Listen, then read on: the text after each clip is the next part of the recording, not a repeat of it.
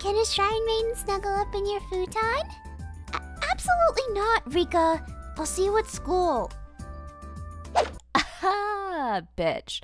Don't hate me because I'm cute, bitch. Maybe if you got rid of that old Nini ass haircut you got, Rena would want to no much you too. Oh, better yet, maybe Keiichi will call your lolly ass if he ever stops hanging with those twins or that fat detective he's been seen talking with. Slut. what?